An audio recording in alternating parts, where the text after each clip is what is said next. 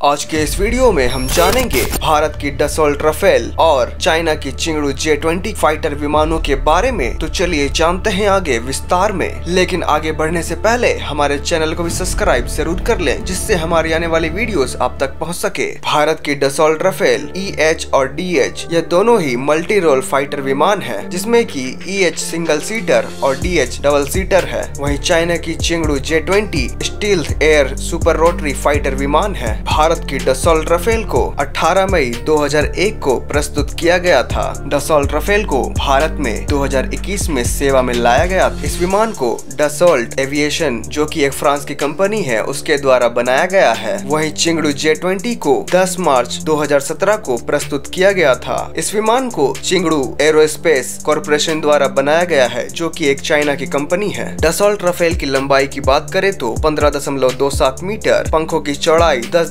Metre, ऊंचाई चार metre है। वहीं चेंगड़ू जे ट्वेंटी की लंबाई इक्कीस दशमलव दो मीटर, पंखों की चौड़ाई तेरह दशमलव शून्य एक मीटर, ऊंचाई चार दशमलव छह नौ मीटर है। राफेल की वज़न की बात करें तो इसका ग्रोस वेट पंद्रह हज़ार kilogram maximum take off weight चौबीस हज़ार पाँच सौ किलोग्राम है। वहीं चेंगड़ू जे ट्वेंटी की वज़न की बात करें तो इसका ग्रोस वेट पच्चीस हज़ार kilogram maximum take off weight सैतीस हज़ार किलोग्राम है। इन दोनों विमानों की रफ्तार की बात करें तो राफेल की रफ्तार 1912 किलोमीटर प्रति घंटा है और यह 1850 किलोमीटर दूर तक जा सकता है। साथ ही साथ यह 15,835 मीटर ऊंचाई तक उड़ान भरता है। वहीं चेंगड़ू जे ट्वेंटी की रफ्तार 2450 किलोमीटर प्रति घंटा है और कॉम्बेट रेंज 2000 किलोमीटर है। साथ ही साथ यह 20,000 मीटर ऊंचाई तक उड़ान भर सकता है। डासोल्ट राफेल की फ्यूल कैपेसिटी की बात करें तो इसमें दस हज़ार तीन सौ बासठ एल फ्यूल भरा जा सकता है। वहीं चेंगड़ू जे ट्वेंटी में छब्बीस हज़ार एल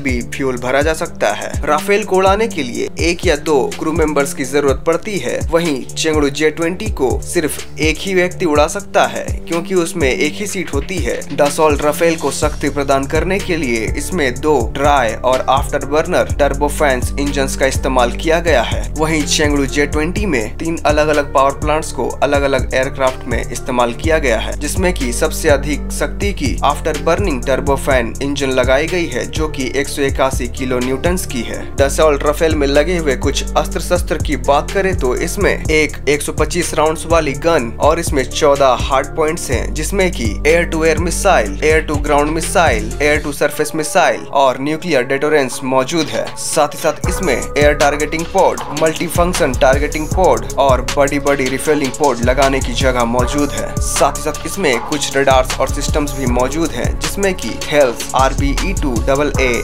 S A radar लगाई गई है जो कि एक मल्टी रोल रेडार है। साथ में इसमें एक थेल्स की बनाई हुई स्पेक्ट्रा इलेक्ट्रॉनिक वॉरफेयर सिस्टम भी लगाई गई है और थेल्स की बनाई हुई फ्रंटल इंफ्रारेड सर्च और ट्रैकर सिस्टम भी लगाया गया है। वहीं चेंगड़ू जे ट्वेंटी में अत्यधिक वेपन्स ले जाने की क्षमता 11,000 किलोग्राम तक की है। साथ में इसमें कुछ मिसाइल्स भी लगाए गए हैं जिसमें short range air to air missile medium range air to air missile BVR long range air to air missile एक एंटी रेडिएशन मिसाइल और 50 और 100 किलोग्राम के small diameter precision guided bomb भी लगाए गए हैं। इस विमान में चार हेड पॉइंट्स भी हैं, जिसमें कि चारों में ड्रॉप टैंक्स ले जाने की क्षमता है। अगर इस विमान में लगे हुए कुछ रडार और सिस्टम्स की बात करें तो इसमें active electronically scanned array radar साथ ही साथ इसमें इलेक्ट्रो ऑप्टिकल टारगेटिंग सिस्टम और infrared search and track radar लगाए गए हैं। फ़िलहाल इस वीडियो में इतना ही। अगर आपको यह वीडियो पसंद आया है तो आगे शेयर ज़रूर करें। और जाते जाते हमारे चैनल को भी सब्सक्राइब ज़रूर कर दें और नीचे कमेंट करना ना भूलें कि कौन सा विमान लगा आपको सबसे खास। इस वीडियो को पूरा देखने के लिए आपका बहुत बहुत धन्यवाद। तो मिलते हैं अगले वीडियो में।